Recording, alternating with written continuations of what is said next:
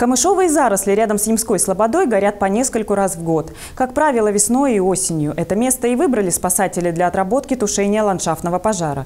По легенде, камыш подожгли. Возгорание составило 200 квадратных метров.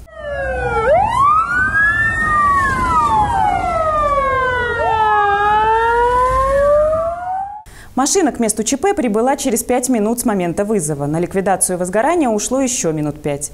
В норматив уложились. Собственно, для этого и нужны учения, чтобы в реальности никаких форс-мажоров не случалось.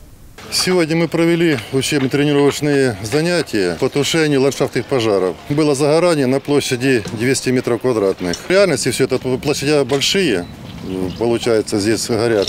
Привлекается МЧС подразделение, мы привлекаемся ну, более большими силами здесь, для того, чтобы не допустить угрозы лишь лежащим строениям. Это жилому частному сектору.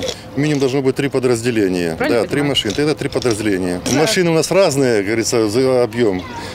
Это данная машина 4 метра кубических, есть 6. По нормативу в черте города пожарный расчет к месту тушения должен прибыть через 10 минут с момента поступления звонка. В сельской местности не позже 20 минут. Но, как и скорую помощь пожарных, автомобилисты пропускают не всегда. Есть случаи, не без этого. Ну, по крайней мере, нас когда больше машина большая, нас лучше видит, поэтому